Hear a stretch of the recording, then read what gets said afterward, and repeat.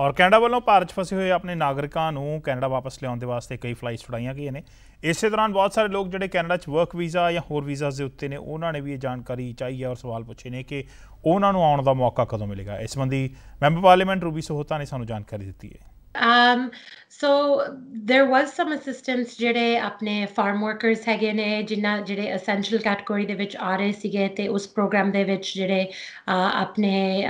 Temporary foreign workers ਜੋ agriculture ਦੇ ਵਿੱਚ ਕੰਮ ਕਰ ਰਹੇ ਸੀਗੇ ਉਹਨਾਂ ਨੂੰ ਅਸਿਸਟੈਂਸ ਦਿੱਤੀ ਗਈ ਹੈਗੀ ਆ ਸੋ ਦੈਟ ਆਪਣੀ ਜਿਹੜੀ ਸਪਲਾਈ ਚੇਨ ਹੈਗੀ ਆ ਫੂਡ ਦੀ ਉਹ ਚਲਦੀ ਰਹਿ ਸਕੇ ਪਰ ਅਨਫੋਰਚੂਨਟਲੀ ਜਿਹੜੇ ਆਮ ਵਰਕ ਪਰਮਿਟ ਹੋਲਡਰ ਹੈਗੇ ਨੇ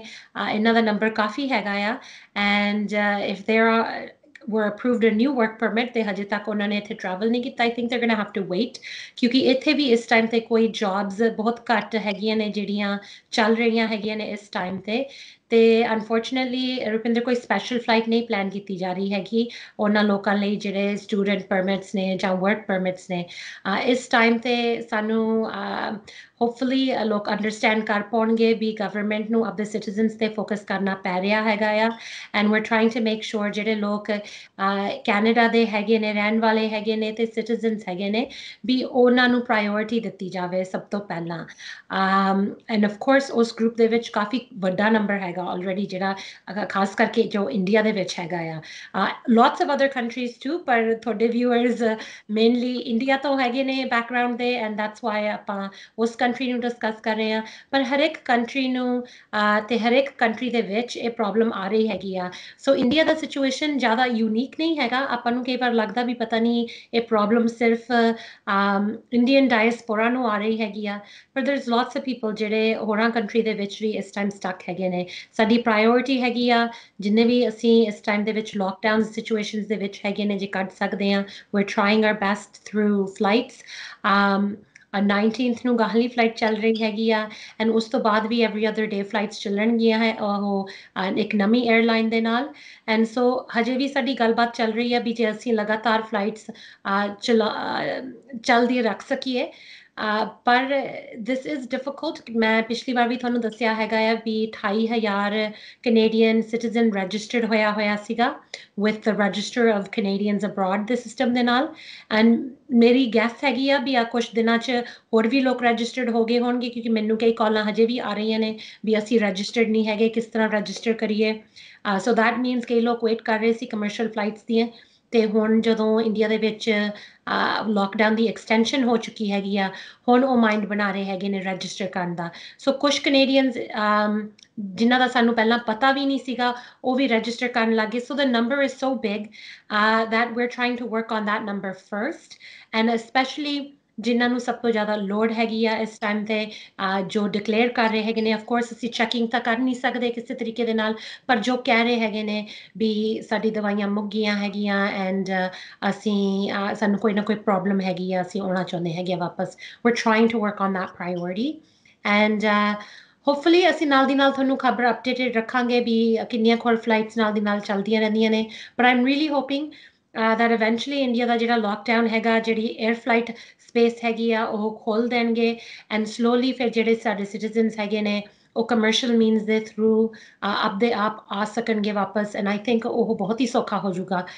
ਜਿੰਨੇ ਵੀ ਐਨਆਰਆਈਜ਼ ਉੱਥੇ ਬੈਠੇ ਨੇ, ਜੇ ਉਹਨਾਂ ਦੀ ਜਿਹੜੀ 에ਅਰ ਸਪੇਸ ਆ ਐਂਡ ਜੇ ਫਲਾਈਟਸ ਨੂੰ ਉਹ ਵਿਦਆਊਟ ਪਰਮਿਸ਼ਨ ਜਿਵੇਂ ਰੈਗੂਲਰ ਬੇਸਿਸ ਤੇ ਲੈਂਡ ਹੁੰਦੀਆਂ ਸੀਗੀਆਂ ਵਿਦਆਊਟ ਸਪੈਸ਼ਲ ਪਰਮਿਸ਼ਨ ਤੋਂ ਉਹ ਲੈਂਡ ਹੋਣ ਦਿੰਦੇ ਨੇ। ਜੀ, ਰੂਬੀ ਜੀ, ਇਹ ਜਿਹੜੇ ਸਾਡੇ ਵਿਊਅਰ ਨੇ, ਜਿਨ੍ਹਾਂ ਨੇ ਖਾਸ ਤੌਰ ਤੇ ਤੁਹਾਡਾ ਇੰਟਰਵਿਊ ਦੇਖ ਕੇ ਸਾਨੂੰ ਫੇਸਬੁੱਕ ਤੇ ਕੁਐਰੀ ਭੇਜੀ ਹੈ ਜਿਵੇਂ ਇਸ ਤਰ੍ਹਾਂ ਦੇ ਕੇਸ ਦੀ ਗੱਲ ਕਰੀਏ ਕਿ ਇਮੀਗ੍ਰੇਸ਼ਨ ਡਿਪਾਰਟਮੈਂਟ ਤੋਂ ਤੁਹਾਨੂੰ ਕੋਈ ਅਪਡੇਟ ਹੈਗਾ ਕਿ ਜੇ ਉਹਨਾਂ ਦਾ ਇਹ ਵਰਕ ਪਰਮਿਟ ਸੀਗਾ, ਪਰ ਇਸ ਟਾਈਮ ਉਹਨਾਂ ਦਾ ਇਹ ਟਰੈਵਲ ਨਹੀਂ ਕਰ ਸਕੇ, ਤਾਂ ਕਿ ਉਹਨਾਂ ਨੂੰ ਐਕਸਟੈਂਸ਼ਨ ਮਿਲੇਗੀ? ਹਾਂਜੀ ਸੋ we are trying to work with the most urgent issues right now. ਪਰ ਜਿਸ ਤਰ੍ਹਾਂ ਹੀ ਆਪਾਂ ਸੀਨੀਅਰਸ ਦਾ ਵੀ ਪਹਿਲਾਂ ਕਿਹਾ ਹੈਗਾ ਜਿਹੜੇ 6 ਮਹੀਨੇ ਤੋਂ ਉੱਤੇ ਰਹਿ ਰਹੇ ਹੈਗੇ ਨੇ ਕਿਤੇ ਸਟਕ ਹੋ ਗਏ ਨੇ ਉਹਨਾਂ ਦੀਆਂ ਵੀ ਪੈਨਸ਼ਨਸ ਚੱਲਦੀਆਂ ਰਹਿਣਗੀਆਂ ਉਹਨਾਂ ਨੂੰ ਸਿਰਫ ਇਨਫੋਰਮ ਕਰਨਾ ਪੈ ਰਿਹਾ ਸਰਵਿਸ ਕੈਨੇਡਾ ਨੂੰ ਇਸ ਤਰ੍ਹਾਂ ਹੀ ਜਦੋਂ ਅਸੀਂ ਪਤਾ ਕੀਤਾ ਸੀ ਜਿਹੜੇ ਲੋਕਾਂ ਨੂੰ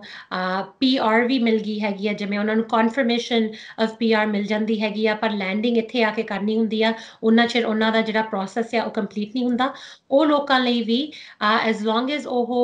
uh, ਵੈਬ ਫਾਰਮ ਤੇ ਜਾ ਕੇ ਆਪਦਾ ਜਿਹੜਾ ਉਹਨਾਂ ਦਾ IRCC ਤੇ ਅਕਾਊਂਟ ਹੈਗਾ, ਉੱਥੇ ਇਨਫੋਰਮ ਕਰ ਦੇਣ uh, ਵੀ ਸਾਨੂੰ ਐਕਸਟੈਂਸ਼ਨ ਦੀ ਲੋਡ ਹੈਗੀ ਆ COPR ਦੀ uh, then the extensions will be given to everyone in these types of circumstances. ਜੋ ਵਿਜ਼ਟਰ ਵੀਜ਼ਸ ਤੇ ਇੱਥੇ ਕੈਨੇਡਾ ਦੇ ਵਿੱਚ ਇਸ ਟਾਈਮ ਆਏ ਹੋਏ ਨੇ, ਤੇ ਉਹ ਵਾਪਸ ਨਹੀਂ ਜਾ ਸਕਦੇ ਹੈਗੇ ਉਹ ਵੀ ਐਕਸਟੈਂਸ਼ਨਸ ਲਈ ਆਨਲਾਈਨ ਅਪਲਾਈ ਕਰ ਸਕਦੇ ਹੈਗੇ ਨੇ। ਐਕਸਟੈਂਸ਼ਨ ਮਿਲਣਾ ਕਾਫੀ ਸੌਖਾ ਹੈਗਾ ਆ ਐਂਡ ਸਪੈਸ਼ਲੀ ਇਸ ਸਿਚੁਏਸ਼ਨ ਦੇ ਵਿੱਚ ਜਿੰਨੇ ਵੀ ਲੋਕ ਸਟਕ ਨੇ, ਉਹਨਾਂ ਨੂੰ ਐਕਸਟੈਂਸ਼ਨਸ ਦਿੱਤੇ ਜਾਣਗੇ। ਜਿਨ੍ਹਾਂ ਦੇ ਵਰਕ ਪਰਮਿਟਸ ਹੈਗੇ ਨੇ ਸਟੂਡੈਂਟ ਪਰਮਿਟਸ ਹੈਗੇ ਨੇ